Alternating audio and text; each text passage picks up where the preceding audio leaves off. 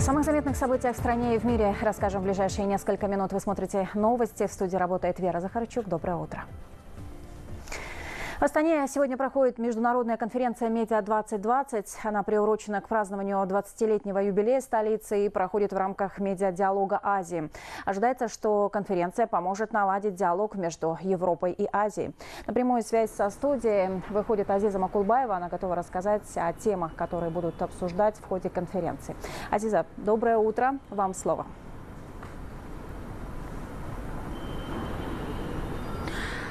Вера, вы абсолютно правы. Круг вопросов, несмотря на географическое положение радиостанции и телестанции, остается прежним. Это глобальные вызовы. И, собственно говоря, как может СМИ отвечать на эти глобальные вызовы. А, но основная задача сегодняшней международной конференции «Медиа-2020» – это а, показать, что Казахстан может стать своеобразным хабом, который соединит а, лучшие передовые идеи в области СМИ, тенденции развития региональных и международных а, средств а, массового вещания а, здесь, в Казахстане, и станет своеобразным мостом между Европой и Азией. Если говорить о сегодняшней международной конференции, то это в первую очередь диалог с Европейским союзом телерадио вещателей.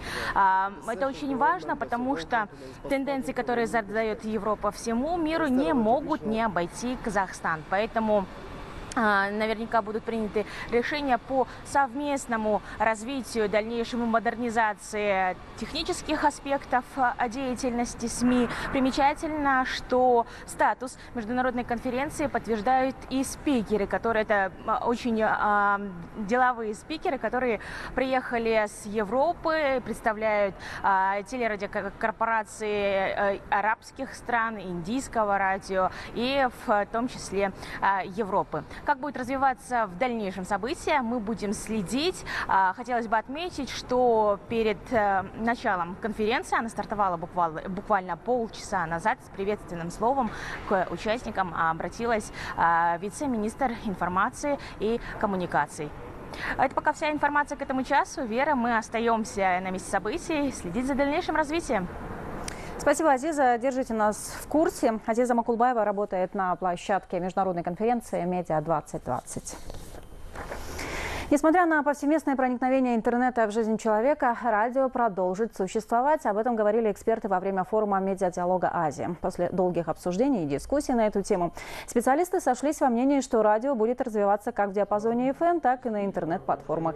Однако теперь к подбору радиоконтента необходимо будет подходить гораздо тщательнее. «Медиадиалог Азии» собрал на своей площадке более 150 участников из 40 стран мира. Это первый большой проект Министерства информации и коммуникаций Казахстана и Азии Азиатско-Тихоокеанского вещательного союза. Основной контент, который интересен радиослушателю, это прайм-тайм утренний и вечерний. Как правило, люди едут с работы либо на работу и хотят просто послушать качественную музыку, услышать какую-то интересную информацию, не напрягающую.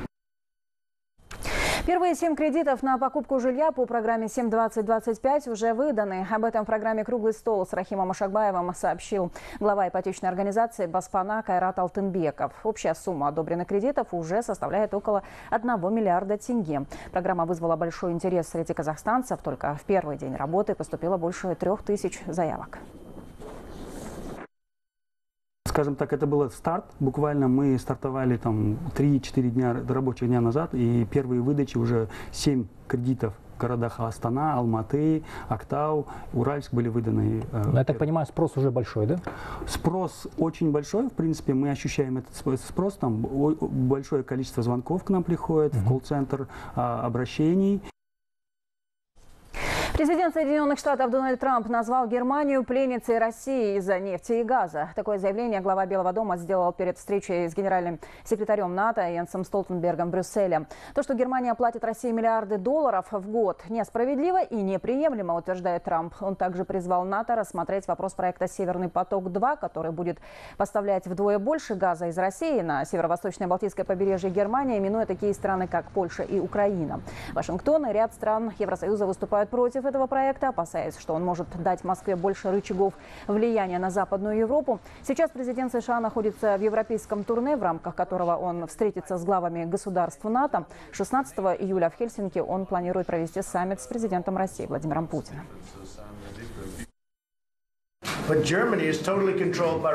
Германия полностью контролируется Россией, так как около 70% своей энергии она получает именно оттуда, по новому трубопроводу. Как вы думаете, уместно ли это? Я думаю, что нет. Это плохо сказывается на НАТО. Некоторые страны-участницы выступали против проекта «Северный поток-2». Нам всем стоит это обсудить. Китай выделил кредиты на сумму 20 миллиардов долларов и финансовую помощь в размере 106 миллионов арабским странам для восстановления экономики в регионе в рамках модели «Нефти Газ Плюс». Об этом сообщил председатель КНР Си Цзиньпинь во время встречи с представителями правительства стран Ближнего Востока в Пекине. По его словам, все они играют важную роль в, в геостратегическом про э, проекте Китая «Экономический пояс шелкового пути». Известно, что 15 миллионов долларов финансовой помощи выделят Палестине, а более 90 миллионов получат четыре страны, пострадавшие пострадавших от вооруженных конфликтов. Это Иордания, Йемен, Ливан и Сирия. Для реализации финансово-кредитной программы планируется создать арабо-китайский консорциум банков с общим фондом 3 миллиарда долларов.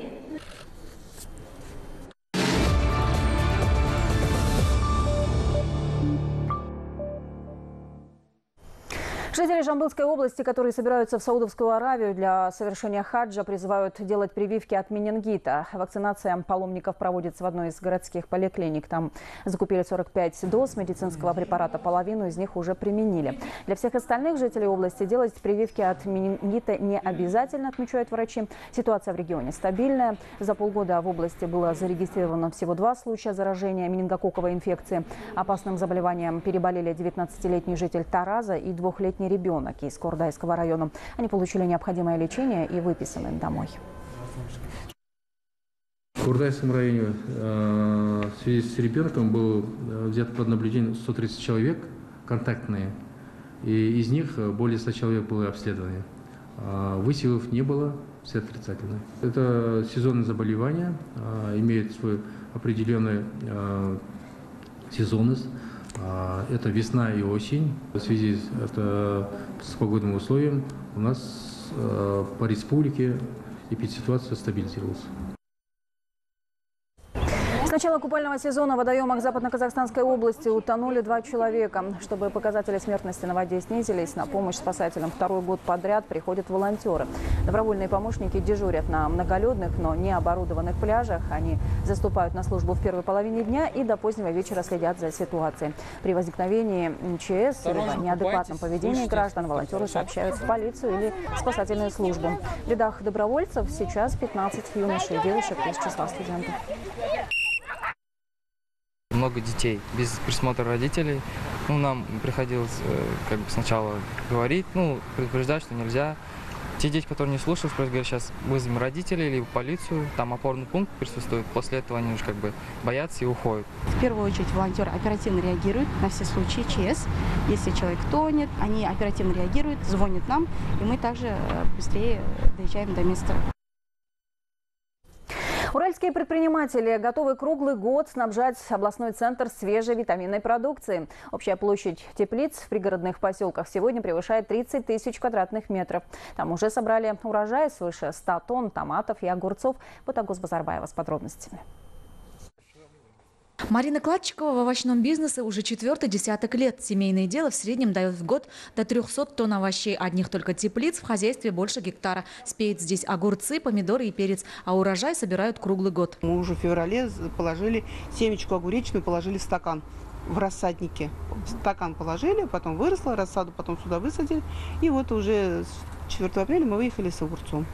Сейчас тоже вот вы в конце июля будем сажать помидоры опять через стакашек посадили, рассада выросла. В начале сентября сюда посадим. Я считаю, вот они уже там до октябрь, ноябрь, декабрь, еще до Нового года, значит, будет плодоносить уже там помидор. Если первые парники были деревянные и покрывались пленкой, то сейчас Кладчиковы используют все современные технологии.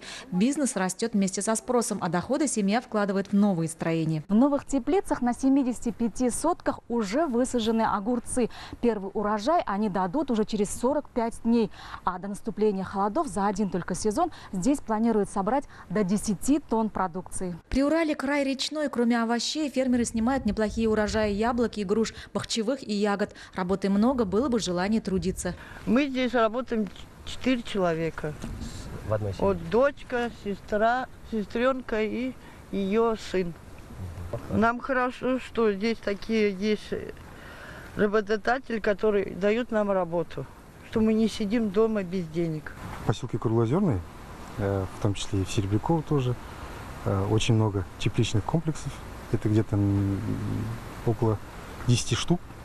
Э, Виды деятельности у всех разные. Кто занимается помидорами, кто огурцами. Находимся в окру- э, в округе Уральска. Э, В этом плане у нас хорошо. Э, Наши предприниматели э, сбыт продают свои продукцию э, в Уральск. В целом поселковых округах Уральска под выращивание овощной продукции отведено свыше 2000 гектаров полей. Всю осень в центре города проходят ярмарки сельхозпродукции, где фермерам торговые места даются бесплатно. Бутагос Базарбаева, Булат Уральск, Хабар 24.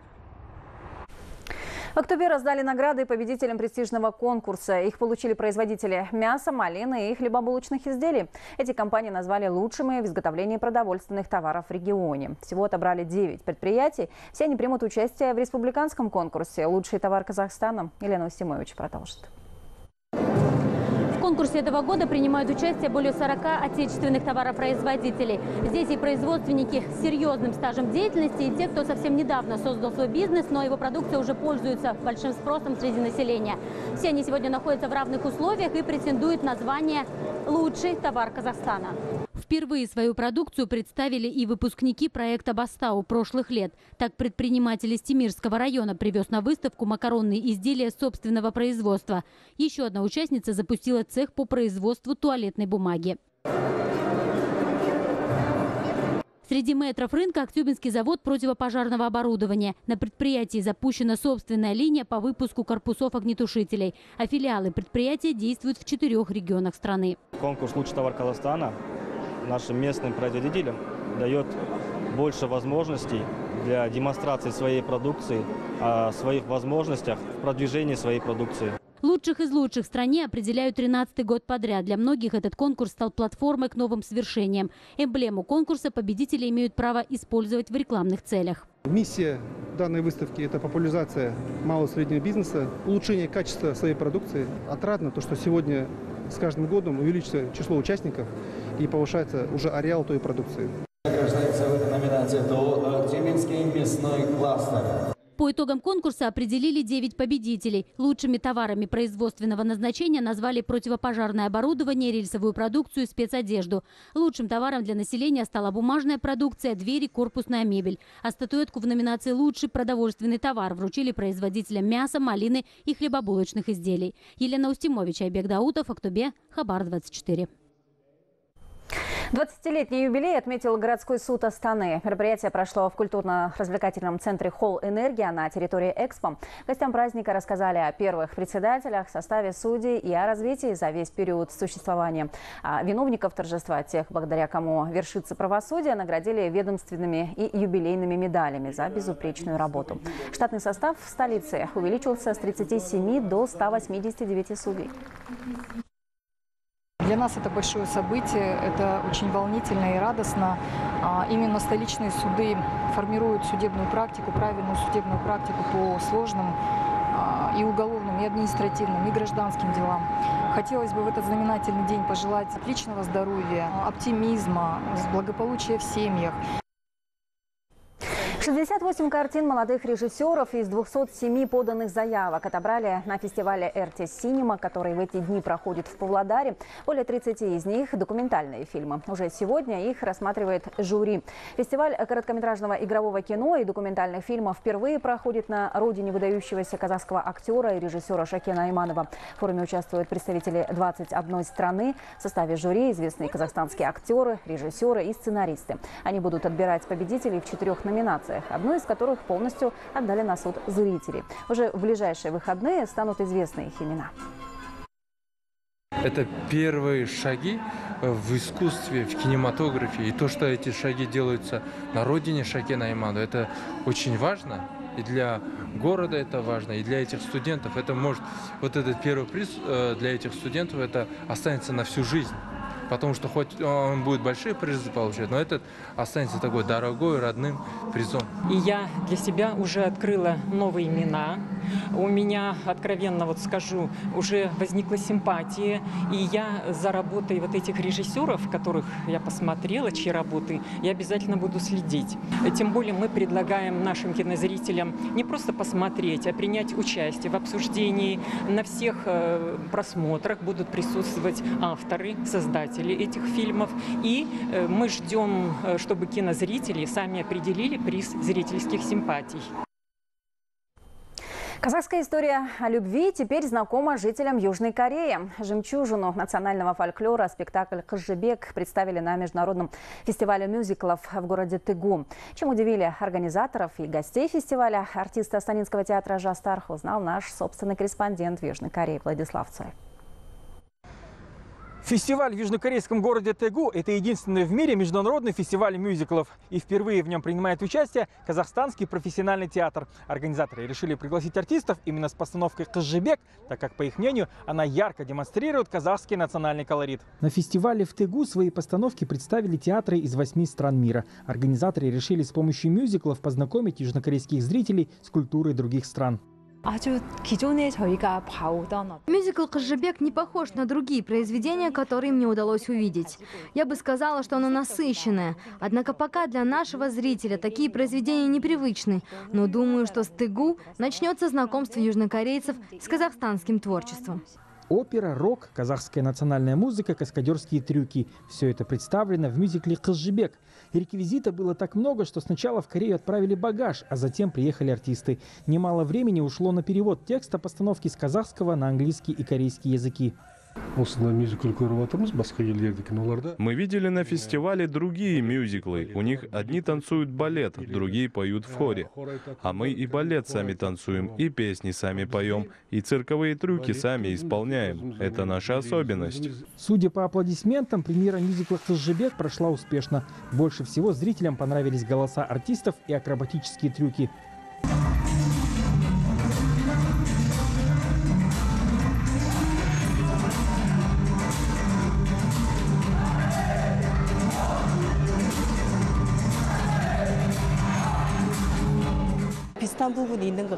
Мне очень понравилась история казахских влюбленных. Понравился герой, которого отвергли. В целом история была понятна благодаря схожести музыки с корейской. Благодаря сегодняшнему показу мне захотелось больше узнать о Казахстане, его музыке и культуре.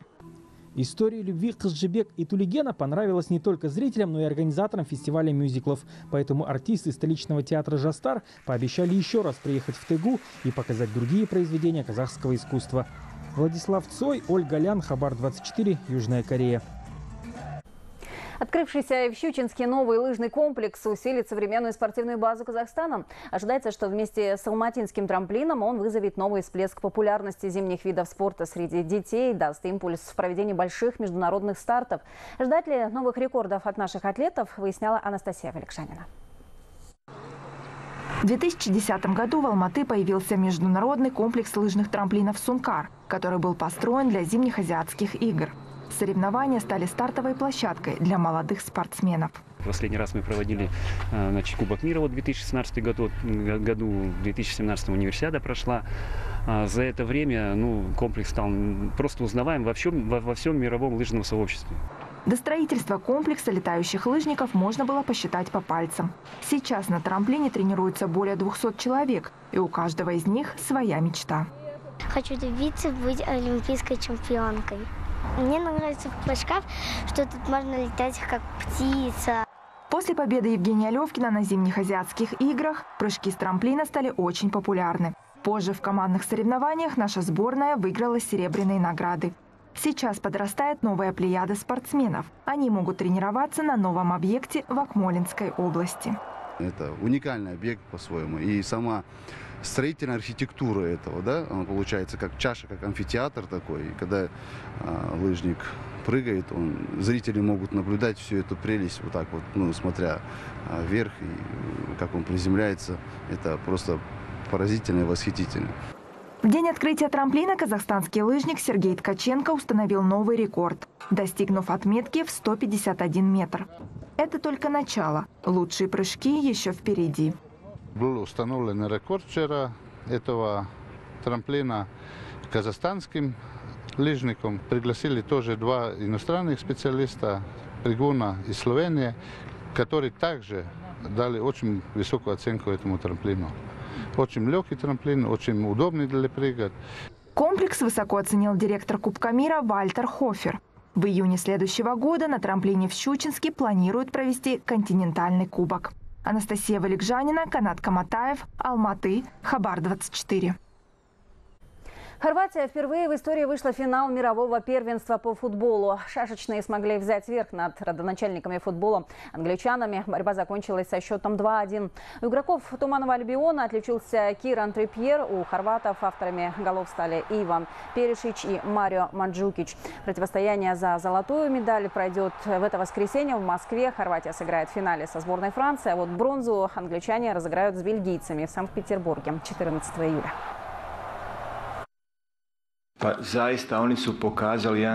В Хорватии все помнят чемпионат мира 1998 года, помнят поражение. Эту игру обсуждают уже 20 лет. Возможно, Бог дал нам шанс свести счеты. Но мы не ищем мести, это футбол, это спорт. Просто хотим подготовиться к тому, чтобы сыграть в финале наш лучший матч.